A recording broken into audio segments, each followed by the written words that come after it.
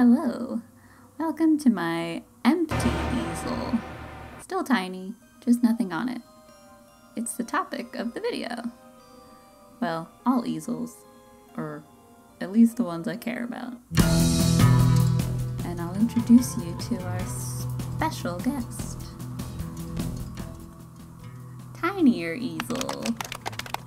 That's right, I have this even tinier easel that I handmade out of basswood from work because they were going to throw it away.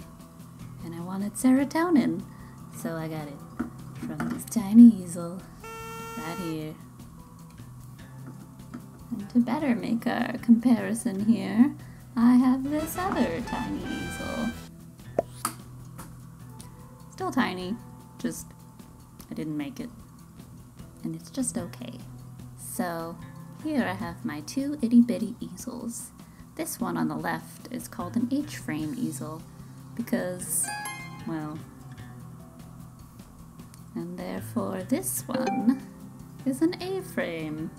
Now these are very bare bones compared to actual normal human size easels, but they'll be good to illustrate the differences.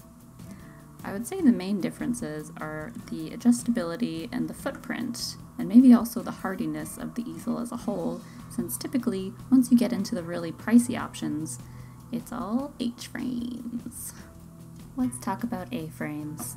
A-frames, also called lyre easels, a word I learned the pronunciation of in my senior year of high school art history class where I had to do a presentation on ancient Greek vases when I accidentally said Lear, and someone in the back shouted, Liar! And I thought they were calling me a liar.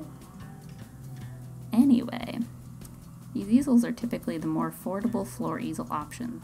They have one back leg that can fold out to stand an angle, and it can fold flat to the rest of the easel, making it really easy to collapse for storage, but also making it a bit less structurally sound especially if you're interested in your painting being completely vertical. A-frame easels usually have less forward-backwards adjustments, as well as vertical adjustment. Obviously, neither of these can adjust vertically with the shelf. A lot of A-frames sort of have set rungs that the shelf can go onto rather than full adjustability that H-frames can have with their little tightening knobs. I will illustrate that here with the images, hopefully. I hope they look good. I hope they're cool. I love them. Now, I also have this big A-frame. It's still tiny, just a little less tiny. And this one, which is not typical for a lot of actual floor easels, does have like a do it? I can't do it. Well, you can loosen this, and then you can move this up and down. But obviously it's just with this little bolt, and it's not the most structurally useful. Wouldn't put anything heavy on here. This is just for display. That brings us to H-frames. Mm-hmm. These are typically a lot more substantial and a lot harder to move around so their best kept is a stable piece of furniture. Some of the smaller ones are a bit easier to fold up and store. Maybe. Video of me not being able to use any of my things. Yeah, some of the small ones can do this, but obviously if you have one that's like five feet tall, it's still gonna be pretty clunky when you flatten it down. Some of the smaller ones are a bit easier to fold up and store, but they're nowhere near as portable as an A-frame. There are some cheaper H-frames that have adjustment rungs, like the A-frames, but I would stay away from those, since in those easels, your shelf is going to be connected to your mast, which means that if you adjust it too high, then your mast is going to go straight into your ceiling if you don't have the luxury of living in a cathedral I touched on earlier that you can adjust the H-frame so that the canvas is vertical. This is really useful if you need to photograph your painting and you don't have a nice wall to put them on, or if you're using pastels.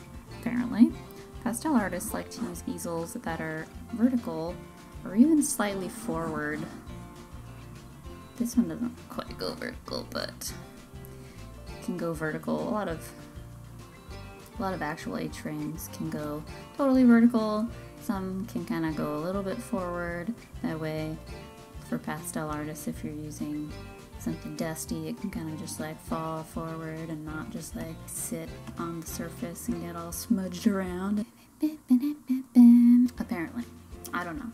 I'm allergic to pastels. But just to recap, if you're looking for an H-frame easel, it would behoove you to find one with a fully adjustable shelf, the ones with the knobs in front, the ability to make your easel, therefore painting perfectly vertical, and ideally some form of safety from the shelf squishing your feet should it fall. Typically, they'll have the feet, the shelf comes down, these feet will hit it rather than your feet, but if you get like a cheaper one, it might not have that.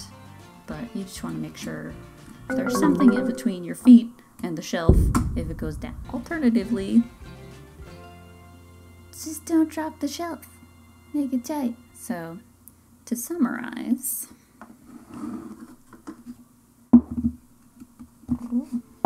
if you value affordability or don't have a permanent studio space, so you need to move your easel out of the way a lot, an A-frame easel is probably a good option for you. But if you have a dedicated space and a little more money to spare, I highly recommend getting an H-frame. The one I have isn't even that good, but I've had it for six years and I've had no issues. Personally, when I graduated art school and was looking for an easel, I got the cheapest H-frame I could find that had an adjustable shelf detached from the mast, and the other things happened to be there without me really thinking about the need for them. In terms of tabletop easels, like my bigger tiny easels here, I honestly find these ones less sturdy than the ones that are more of just like a square box that kind of folds down. folds down. I mean, these ones obviously look a lot better, and you sort of get into the same dilemma. Do you want sturdiness, or do you want the light portable option? Because obviously, these are really nice, they're small, they can fold, they're flat, put them out of the way.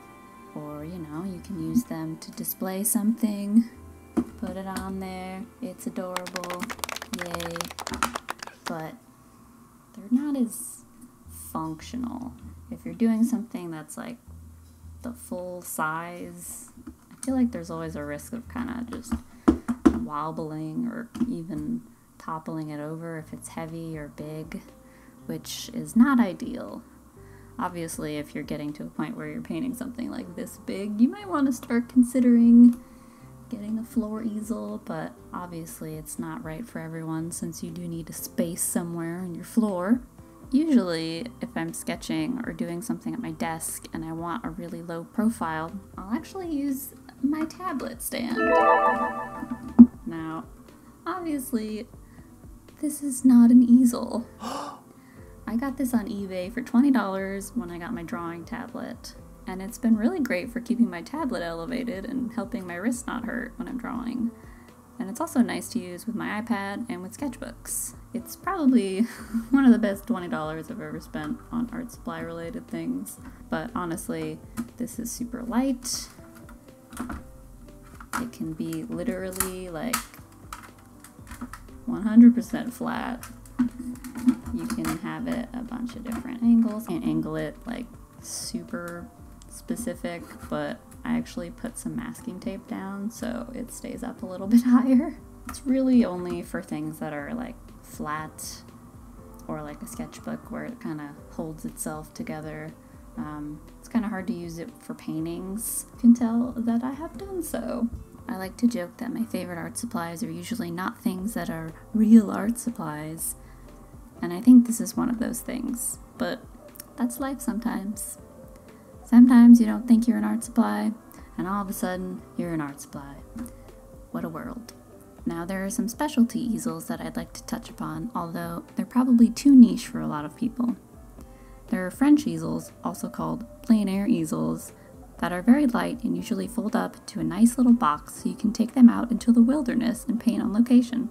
Since they're made to be very light and portable, they have really flimsy legs, and I wouldn't recommend using them for your main home easel as they're just as expensive as a mid range H frame. There's also something referred to as a watercolor easel. It's essentially an H frame that has the capability to turn all the way back horizontally so you can have your piece flat as if it's on a table. It's great for watercolor, varnishing, or if you just need your piece to be horizontal for whatever reason. They're really cool. In all honesty, I'd love to have one, but I've also seen people break these easels much more than any other while working in the art store trenches. So many easels lost.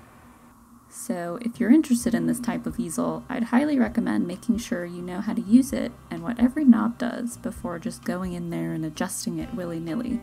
And don't leave it unattended in an art store, probably. I think this is a good time to point out that if you're looking for an easel, I highly recommend you go to your local art supply store to really get a sense for what these all look like in person.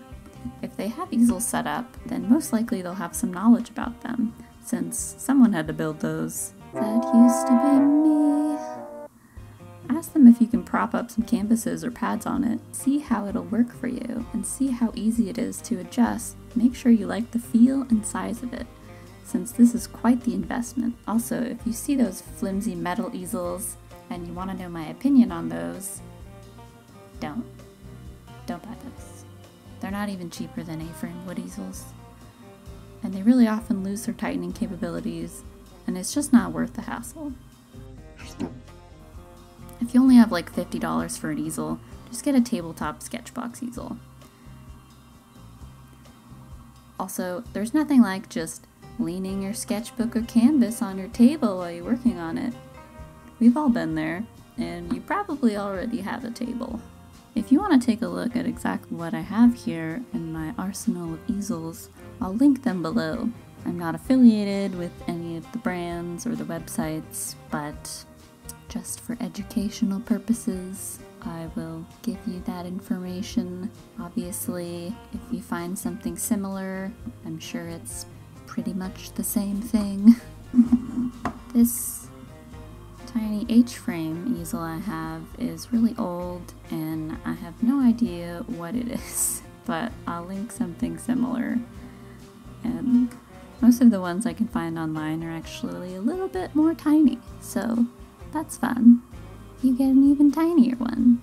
If you have any questions about easels or you want me to talk about a different kind that I didn't bring up or if something was unclear, or if you want me to make an even tinier easel, let me know. And you can check out my Instagram for more art at Snoonsart, one word.